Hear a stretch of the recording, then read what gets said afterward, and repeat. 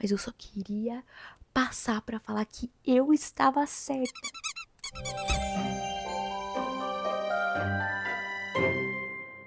E aí, pessoal, eu sou a. Eita. Louca, louca, louca, louca. E aí, pessoal, eu sou a Mari Ramos e sejam muito, mas muito bem-vindos ao meu canal. Viu? No vídeo de hoje vai ser um vlog de leitura de quarta asa, ou seja, muito surto, muitas histórias, muitos plots. Hoje vocês vão ver todas as minhas reações lendo esse livro, comentários e afins. Já digo que é difícil não gostar desse livro, tá? E eu espero encarecidamente que a Planeta Minotauro me note e me mande os outros dois livros, porque assim... Surtos e gritos. Me acompanhe no Instagram porque eu mostro muito mais da minha vida assim por lá. Bora pro vlog de leitura. Na verdade, eu li o primeiro capítulo. Considerações. Achei o capítulo bem grande, tá? Eu gostei bastante que já tem mapas, então a gente já consegue se situar. Tipo, aqui a gente tem ma o mapa do continente inteiro, né? Tipo, ainda tô penando um pouco com os nomes, não tô entendendo muito bem os nomes, assim. Nem entendendo, mas acho que os nomes são muito difíceis. Basgiath. Basgiath. É? Blue, blá, flu, fleck.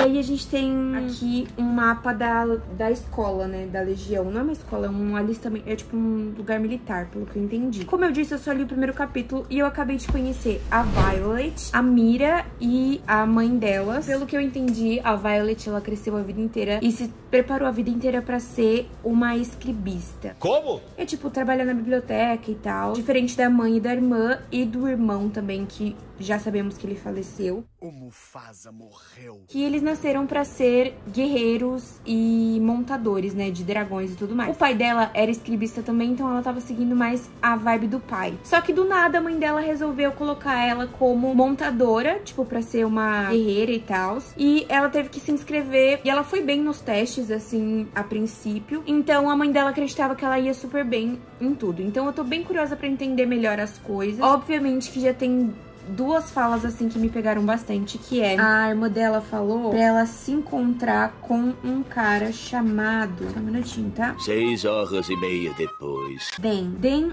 Eitos. Pra ela encontrar esse Den Eitos, que ele já, ela já conheciam ele. E ele iria dar abrigo pra ela lá nesse lugar que ela tá indo. Que eu não, eu não tô entendendo muito bem, tá? Mas eu sei que ela vai ter que passar por alguns testes agora pra poder entrar pra, ser, a lista, pra essa academia militar. E aí muitas pessoas morrem nesses testes, então, tipo, é meio que perigando ela morrer.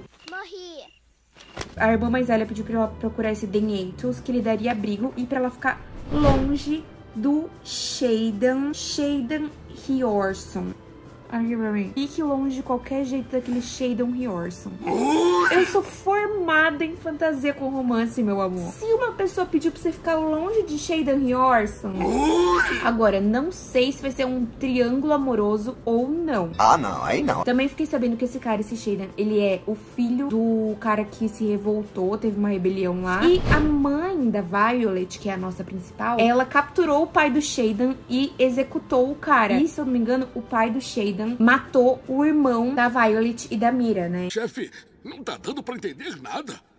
É que tem que olhar direitinho pra poder entender. Que ele morreu em batalha e tudo mais. Brigas familiares. Outra coisa que eu gostei também é que a gente tem uma Rhiannon. Rhiannon, não sei como é que fala, tá? Eu, tô, eu falo do meu jeito. É uma amiga que ela fez ali na torre. Eles estavam subindo pra fazer a transição, né? A travessia. Rhiannon me lembra muito de Trono de Vidro porque tem uma personagem lá que se chama Rhiannon. A coisa que eu gostei foi que a irmã da Violet deu pra ela uma bota, que era uma bota específica que ia ajudar na travessia do penhasco se chovesse, que tava com cara de chuva, porque ia ser uma bota de borracha que ia fazer aderência. A Violet tava com essa bota. E a, a Rhiannon tava com uma bota lisa, igual ela tava antes da irmã dela dar pra ela. E aí a Violet falou assim, me dá a sua bota esquerda e eu te dou a minha bota esquerda, porque daí a gente fica meio a meio, entendeu? E aí a Rhiannon só aceitou, só acreditou nela e botou a bota. Botou a bota foi ótimo, né? Dessa forma ela vai conseguir atravessar. Então, ansiosa pra ver tudo, eu vou ler mais pra entender um pouco melhor das coisas, pra trazer pra vocês. Mas tô muito animada com esse livro, gente. Já me envolvi.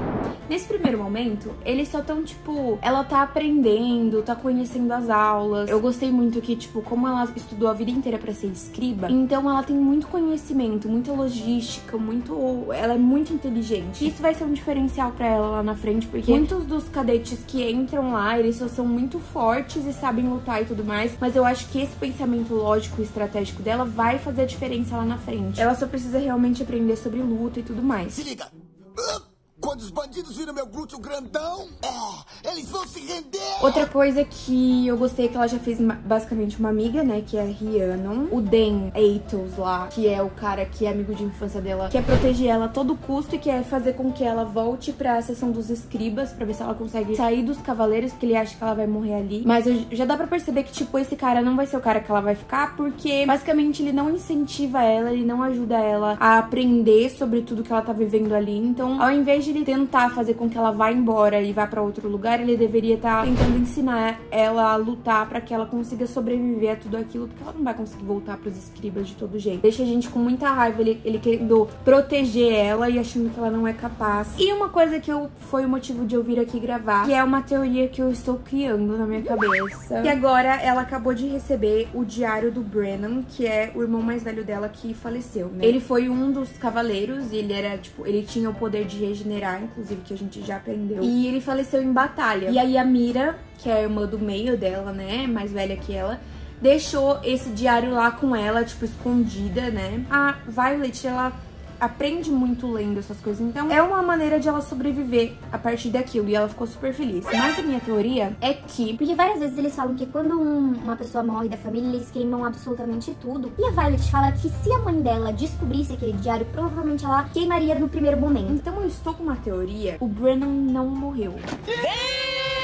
E ele virou um desertor, né? Ele foi pro outro lado, do lado dos rebeldes ali, do local onde eles vivem, porque, tipo, tem esses rebeldes. Tanto que os filhos deles, eles são obrigados a servir ali como cavaleiros, como por exemplo o Shaden, os separatistas, né? Eu tenho essa teoria de que ele desertou para os separatistas. Eu sinto que ele desertou. Para de ser doida! E aí, se ele realmente desertou, pode ser que os separatistas talvez não estejam tão errados nessa vibe toda, entendeu? É, tá bom. Que na verdade, esse lugar onde eles estão, aprendendo sobre os dragões, que tem um motivo meio ruim por trás de tudo, mas provavelmente a gente vai descobrir mais pra frente. Mas enfim, eu tô gostando bastante porque o livro é super envolvente, faz a gente querer ver a próxima página, a próxima página e tudo mais, então eu tô gostando bastante e volto com updates pra vocês. Eu li mais e agora eu sei muito mais coisas eu tô curtindo muito essa logística porque, quer dizer, eu tô muito feliz, por quê? Porque é a introdução, e essa introdução tá muito gostosa de ler, porque a gente tá descobrindo muitas coisas desse universo, dessa escola militar, né, que eles estão estudando, e consequentemente, quando eles têm aulas, a gente acaba aprendendo muito sobre o universo. Já passou aquela parte em que eles estão aprendendo sobre os dragões. A dragão do Shaden, ela é, tipo, a mais feroz de todas, e os azuis são muito ferozes. E ela é a mais feroz dos azuis e tudo mais. Só que o dragão Master Master é o preto, que só um outro general tinha ele. E só tem mais um preto, tipo, pra se juntar com alguém. E eu tenho certeza que esse preto vai ser o da Violet. Mas só por como tá sendo conduzida a história, eu acho que ele vai ser o dragão da Violet. Então vamos ver cenas dos próximos capítulos. Outra coisa é que eu já não tô aguentando mais o Dane, porque toda hora ele quer fazer com que ela vá para os escribas e que ela não lute lá e essa coisa. A gente já sabe que essa coisa de muita proteção não dá certo. É claro que a gente fica com o ranço do Den aqui e a gente gosta muito mais do Shaden. Embora tenha toda essa rivalidade entre os dois, porque o Shaden, tipo, ajuda ela a lutar, ensina ela. Tipo, mesmo que eles estivessem lutando ali e ele desarmando ela, deu pra ver como ele tava tentando ensinar ela todas as coisas da luta e o que ajudaria ela naquele momento. Porque ele sabe que ela tava envenenando todo mundo, inclusive essa parte eu achei muito legal. Ela envenenando todo mundo, todos os participantes que iam lutar com ela antes, para que ela conseguisse se sair bem uh, nas lutas. Eu achei isso muito inteligente e acho que foi aquilo que eu falei pra vocês. É essa vibe que ela vai ter como cavaleira que vai diferenciar ela dos outros, sabe? E ela também estava tava buscando uma dessas ervas e acabou vendo que todos os separatistas, filhos dos separatistas, estavam conversando é, de noite e ele só estava ajudando os outros. E ela, obviamente, sabe que aquilo é contra as leis, porque mais de três separatistas não podem ficar juntos é, em grupo, andar juntos em grupo. Mas ela não contou pra ninguém porque basicamente eles só estavam. O Shaden só tava ajudando os mais novos a, tipo, conseguir sobreviver, porque são um deles ali. Eu sinto que tem alguma coisa por trás que a gente ainda não sabe sabe? Em relação ao Shaden não querer matar a Violet de primeira. Talvez seja pela personalidade dele, talvez seja, tipo, porque ele sempre dá, sei lá, uma segunda chance pras pessoas, no sentido de, ah, não é porque a mãe dela matou todo mundo, que ela vai ser igual e tudo mais. Então eu ainda quero entender o que fez o Shaden recuar em relação a Violet. Deixa eu ver qual foi a parte que eu parei. Ah, é. Foi o Den implorando pra ela que para ela voltar pros escribas. E nossa senhora, como eu tenho ranço desse menino. Caracas, meu. Nossa senhora. Relaxa! Ave Maria, cara chato. Em vez de ajudar ela, ele fica mandando ela ir pros escribas. Ela não é tão ruim assim, gente. Tá viva até agora. Enfim, eu sei que ela não vai, porque ela vai acabar com o Shaden se Deus quiser. Gente, achei mega legal. Cheguei na parte em que ela é escolhida pelos dragões, né? E realmente me surpreendeu. Porque, tipo assim, eu tava achando que ela ia ser escolhida pelo dragãozinho dourado. E até aí tudo bem. Só que aí, o que me surpreendeu foi que ela foi escolhida pelo dragão preto, o Tern. E na hora que ela foi falar lá pra mulher, tipo, pra falar os nomes, a dragãozinho dourado também se uniu a ela. Então ela tem dois dragões. Mundo pequeno, isso que é um barato, né? Adorei também a luta que ela fez, que ela teve ali com o Jack, o Tinian e o outro lá. Gostei que o Tinian morreu também, já foi morto pelo dragão preto. E quero ver o Jack ser humilhado, gente. Eu quero que ele não tenha dragão, que ele seja realmente humilhado porque ele merece, que é um babaca, pelo amor de Deus. Mau caráter, de frente esfria, área. Enfim, eu gostei muito e eu quero entender melhor o que, que isso significa de ela ser vinculada a dois dra dragões, né? Porque eu até então nunca tinha visto isso acontecer. E pelo que eu entendi, o general lá, eles devem ter ficado putos porque ela tá vinculada a dois dragões, porque isso, pelo que eu entendi, não é possível. Mas eu achei muito legal. Ao mesmo tempo que tem coisas clichês, tem coisas que nos surpreendem, tipo ela ser vinculada a dois dragões. Não tava nem esperando isso. Antes eu tava lendo picadinho, mas agora eu tô com muito mais vontade de ler. Na verdade, eu tenho uma teoria maior de todas, que eu acho que a Violet vai se virar contra a mãe dela em algum momento. Eu acho que ela vai, tipo, pros separatistas. Eu já até comentei aqui, se eu não me engano, essa teoria de que eu acredito que os separatistas têm mais razão do que o pessoal ali. E aí o Shaden que vai mostrar isso pra ela também, até porque ele é filho de um dos separatistas, né? Ou tipo o Mor lá, que foi assassinado pela Sorengale. E enfim, eu acho que isso vai acontecer em algum momento, então vamos esperar. E é isso. Oi, pessoal. Tô com o microfone novo, acho que eu não tinha gravado com ele ainda aqui no, no vlog. Eu passei muito mal semana passada, mas eu li muito. Tô morrendo de dor de cabeça ainda. Eu tô numa, numa semana que não tá muito fácil. Fácil de tipo saúde, porque tá tudo rolando super bem. Eu tô produzindo, eu tô fazendo as coisas. Viajei pra São Paulo esse final de semana também pra passar um tempo com o Ti. E aí eu li bastante nas minhas viagens de ônibus. Cara, que livro bom. Que livro bom. Eu acho que algumas teorias minhas vão se concretizar. Tipo a minha teoria sobre a Violet ficar do lado dos separatistas, porque tem algumas informações que estão sendo omitidas deles. That's suspicious. A Violet, ela se vinculou a dois dragões. Eu fiquei louca, possessa, achei muito legal. Simplesmente a gente descobriu que um dos dragões é um rabo de pena. Esses dragões, eles não se unem aos humanos. Os humanos não sabem, mas é pelo fato de que quando eles se unem a humanos, antes de estarem adultos, que ela acabou de descobrir que ela é unida a um filhote.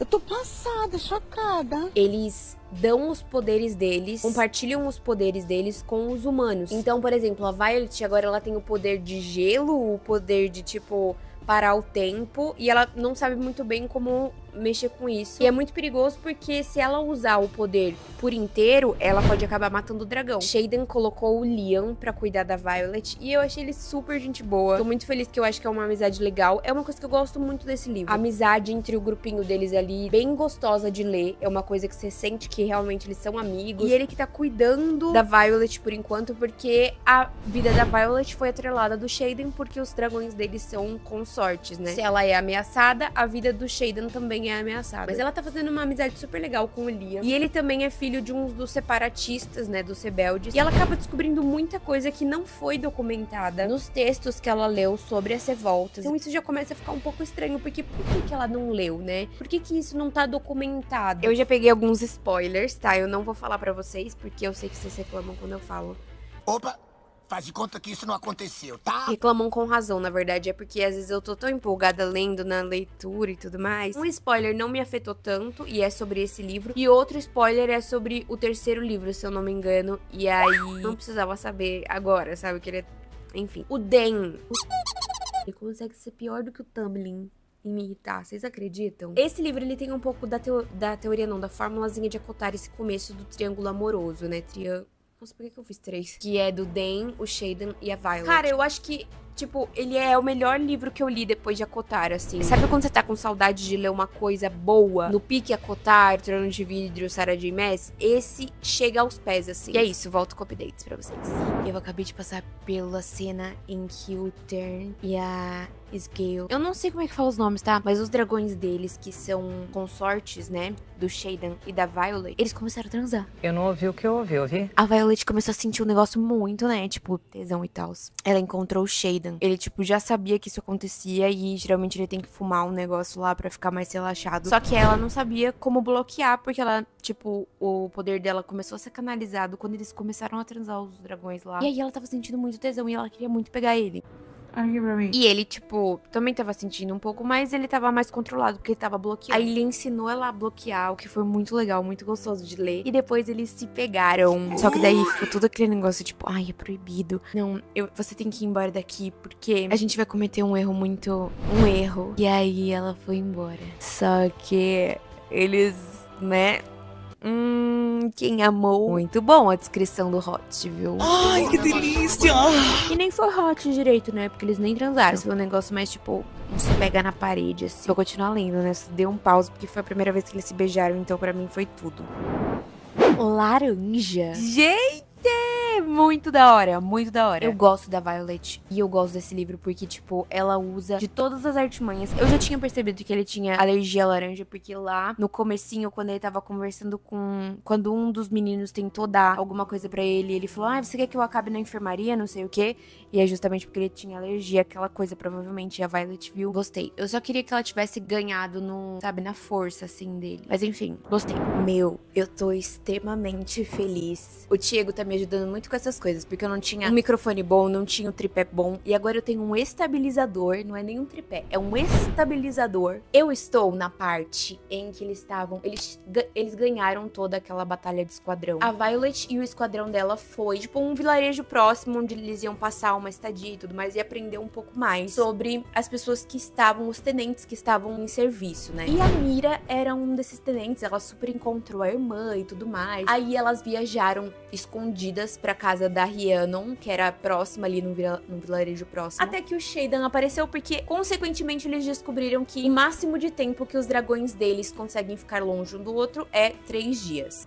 Aqui pra mim. E o Shaden que veio até ela, não ela que foi até o Shaden, enfim. Mas o ponto ápice dessa parte é que grifos estavam circundando ali o local e eles tiveram que correr e sair às pressas de tudo. Mas antes disso, a Mira, ela tava dando a aula, né, lá pro pessoal, pro esquadrão deles. E ela acabou chamando o Dan e o Shaden e a Violet de canto para ter uma conversa. E ela estraçalhou o, o Dan. Tem gente que eu vou te falar, meu.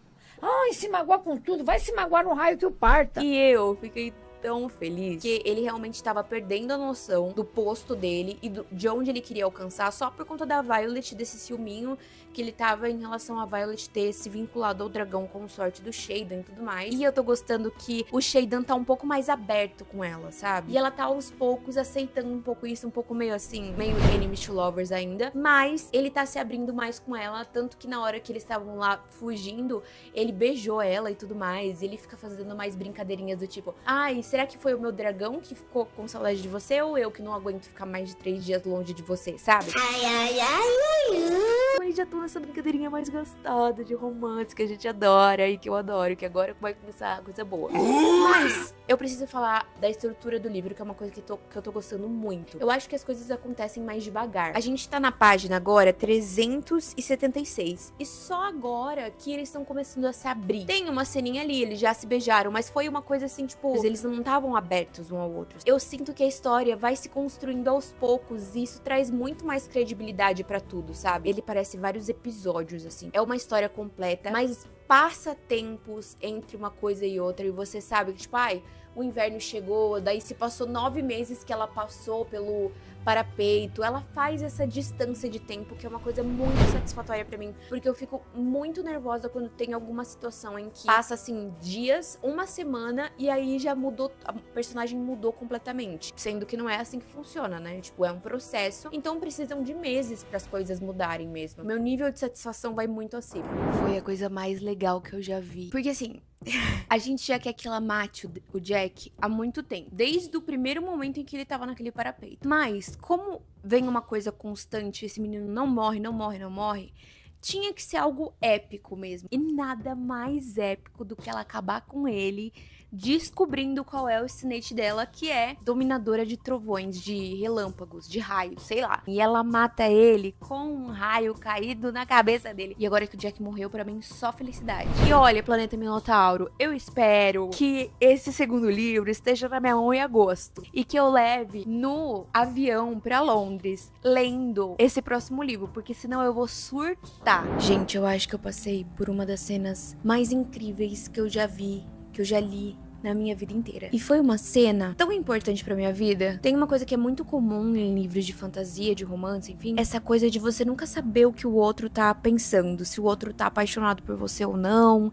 E aí fica todo aquele joguinho até o momento em que realmente eles eles se declaram um pro outro. E agora eles estão, tipo, já mais abertos, o Shaden e a, e a Violet. E a Violet teve uma coragem absurda agora nessa cena. É a cena em que eles conversam e aí a Violet, ele fala para ela não se apaixonar, né? A Violet simplesmente não aceita isso. E ela fala: Eu entendo que você não esteja aberto ainda para entender que você tá apaixonado por mim e que eu tô apaixonado por você, tipo, ou que isso vai acontecer de qualquer forma, mas eu não quero que você fale o que vai acontecer. E ela, ela falou assim pra ele: Eu entendo que você não quer que eu me apaixone por você, mas eu sinto que se a gente continuar dessa forma, eu vou acabar me apaixonando, porque para mim é impossível não estar envolvida emocionalmente nisso e para mim não vai não vai dar para ser só sexo. E isso me impactou de uma forma absurda, porque é tão difícil até hoje em dia, assim. Hoje, graças a Deus, eu já estou namorando, tá tudo sob controle. A minha vida, graças a Deus, tá tudo certo, maravilhoso, lindo. Mas enfim, é, é muito difícil a gente ver pessoas que têm consciência, que têm essa responsabilidade afetiva com os outros, gente. É, é, é ridículo, é absurdo. E foi uma cena tão simples, tão básica. Eu sou muito ansiosa e isso me deu um alívio de uma maneira surreal. Não consigo nem explicar para vocês. O Shaden, ele não, ele não aceita que ele tá apaixonado por ela. Então ele fica